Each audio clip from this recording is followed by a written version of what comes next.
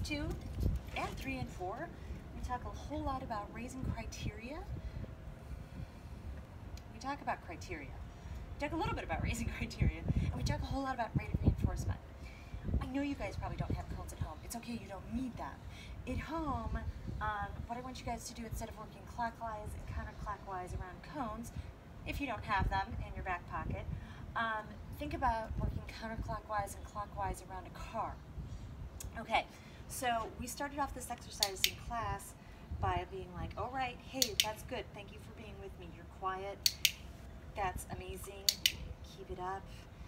Good job, okay? So I've got her attention now. And now what I'm gonna do is I'm gonna make sure we're lined up right. Leash and clicker are in one hand. Dog and treats are in the other. I'm in a cone, and I'm gonna click and treat. And I'm gonna step to the next cone and click and treat, as long as she is next to me. All right, here's the thing. I'm gonna admit that Lemon is gonna make this pretty easy. He's gonna blow me off the list here. So I'm gonna just really quick. Your dog might go forwardly or badly without suddenly sniffing in the middle of a loop. What I want you to do is, at that home, plant your feet and use that find the spot technique that we've been doing with you. Kind of back up the foot in your hand and encourage them to move back into the spot with you. The leash is not a steering wheel. Try not to drag them around. And what I want you to do is two or three loops where you're clicking at every cone and you're treating them. What we do down the road is we continue to try different patterns and go back to this pattern is we start taking every other cone away, every third cone away, but I'm still having you work the same circle. So you are still going around in a circle, but now we might be going, skip this one, go to this one. You're still next to me, that's great. Not this one, but this one. I'm raising my criteria. See, this one. That's really good. My speed changes a little bit with this one. And by the way, here comes the X man, so you'll see how much I keep her uh, attention. So I'm going to actually lower my criteria and go for around and she might be able to see the FedEx man. So that's a real live distraction. But this whole way, I got to reward her for moving 10, 20, 30 steps, moving with me. So, I'm just gonna be like, done. Give her a slight break because I know that me and the FedEx man, it's hard to train around that truck. We want to chase it. We want to hurt it. Do you see that right there?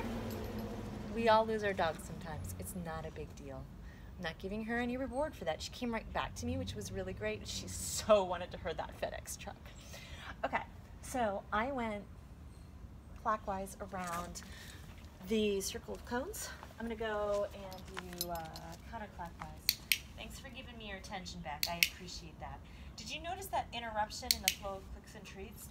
When she did the horrible, rotten, no good thing that was called hurting the UPS truck? There was a pause there. I want to be careful not to accidentally reward leave your chain. Okay, so now I'm going around the cone. She's with me. Click and treat only if she's with me.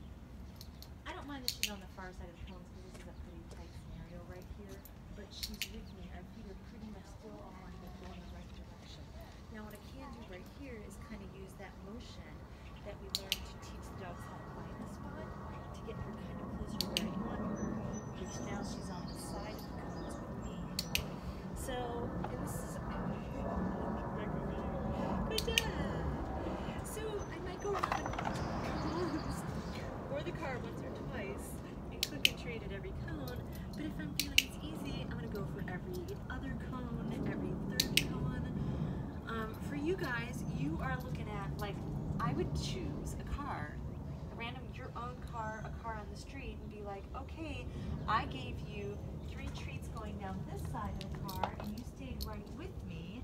Or if you had to give them seven, that's fine, give them seven. But round three and four, let me go one. Oh, training errors that happen. Your sweater gets stuck to the brick wall, and your dog trips over the cones. Eventually, you should be able to go one, two, three. Nice. Well, across the, what would be for you guys, you would be going across the front of the car. Your dog is still with you. Mark that moment. And then you're turning them. You're going down the length of the car. They're still with you. You click that. And then you go across the front of the car. They're still with you.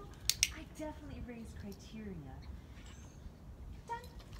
One of the reasons I love working the circle of cones in class, in a car, in a home environment, you, instead of a straight line, you're either turning into them or away from them.